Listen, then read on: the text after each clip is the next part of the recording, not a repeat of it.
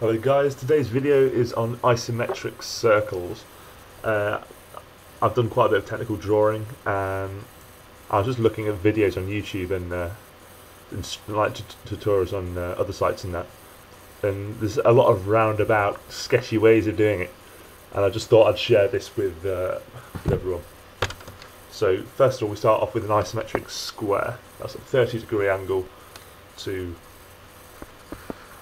paper there. Uh, this is 10 by 10 and I've marked halfway point on all the edges.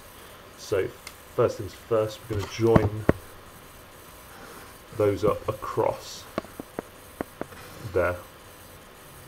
Still keeping all the sides parallel, like so. And then we go, go from midpoint to midpoint and then we've gone from corner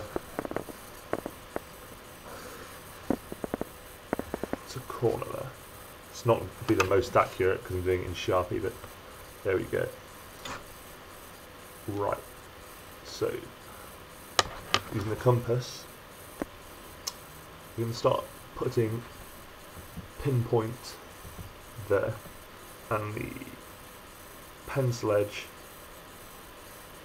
over by one of the midpoints on the opposite side.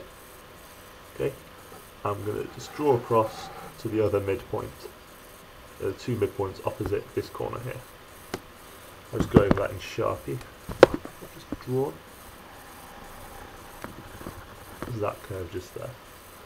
do the same on the side, so the pin on that corner. Opposite midpoint to opposite midpoint. Straight around like that.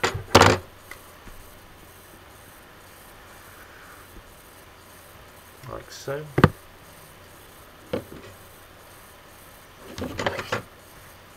Now,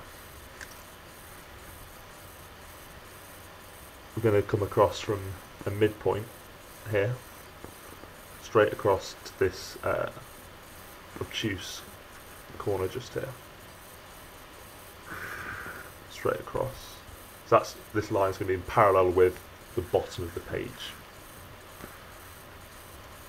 you do it with this midpoint and that obtuse angle just there.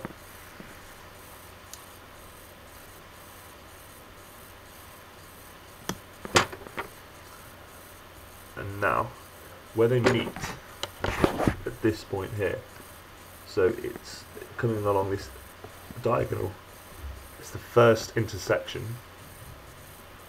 You point the, put the pin there, compass down. Just there. And go around. And on the other side. Just there. And we go around.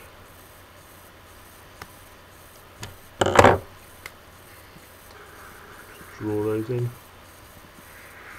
It's like such. And the rest is um, are just construction lines and, and there could be erased. So that's pretty much it. Isometric circles free. Thanks for watching.